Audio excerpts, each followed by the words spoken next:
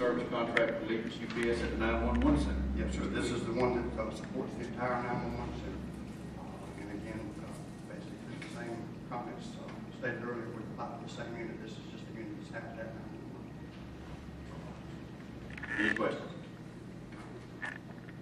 Okay, thank you, Mr. Wood.